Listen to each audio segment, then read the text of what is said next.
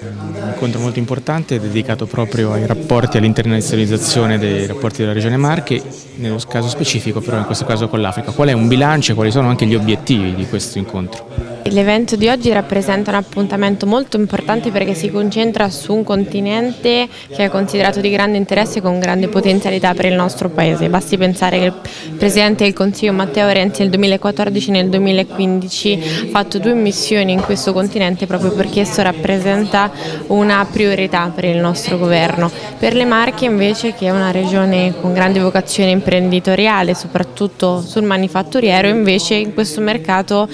ci sono delle criticità, soprattutto se comparato sul, insomma, sul, resto del mondo e proprio questo è il senso di questo seminario, quello di riflettere insieme su quelle che possono essere le strategie da intraprendere.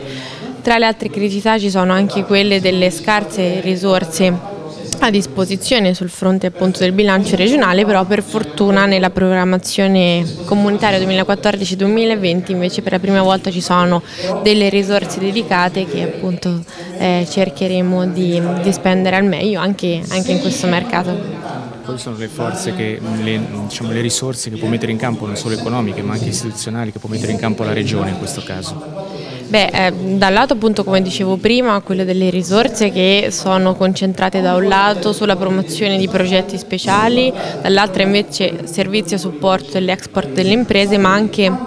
anche ad esempio la, il finanziamento di figure come quella dell'export manager. Eh, sul fronte istituzionale io credo che sia dovere della Regione, che oltretutto coordina a livello nazionale la Commissione Attività Produttive, quello proprio di essere un modello di esempio nell'internazionalizzazione, appunto informando le imprese, formandole e anche cercando di semplificare il processo di internazionalizzazione che è comunque un processo molto complesso, soprattutto per le nostre piccole e medie imprese.